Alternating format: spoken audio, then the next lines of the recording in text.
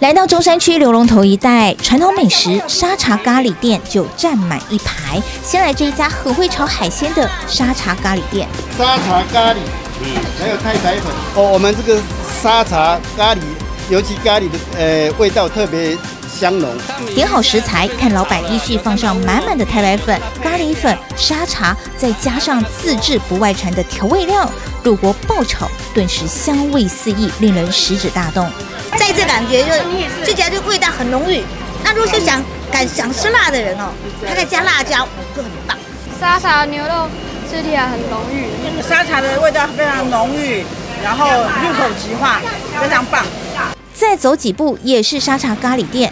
穿烫过的乌龙面软而不烂，西宝沙茶与咖喱融合的橙黄色泽与芥蓝菜在满盘香辣浓郁的味道中达成平衡。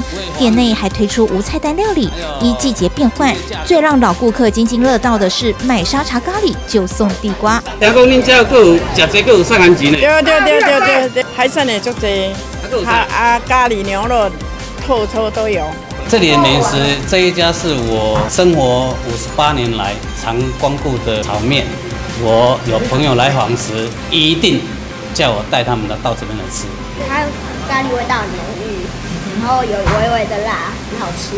这就是记忆中阿妈炒它咖喱的味道。用三鲜呢，用这个咖喱来炒呢，那个味道呢，呃，非常特别，充满了那个南洋的风味。卖着沙茶咖喱的店各有风味，代表生活与日常的沙茶与咖喱是在地人的情感记忆。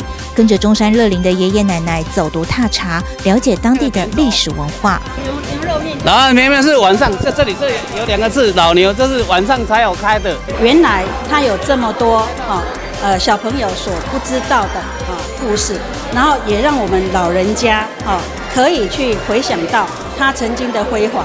然后介绍给我们的下一辈，那我觉得这个是一个很好的哈，一个呃唤醒老人家的回忆，然后也是呢给我们的小朋友哈一个原来呢我们的长辈是生活在这样的环境里面。我希望这道料理可以唤醒大家小时候的记忆，还有在地人的好滋味米粉汤。听说老板娘顶着一头酷炫的头发，当地人都笑着说不知道是看老板娘还是看米粉呢。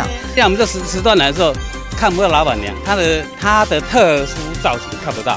美食故事串起一代又一代的情感，吃尽多元文化的韵味，看基隆发展的缩影，同时感受港口人生的转折与未来展望。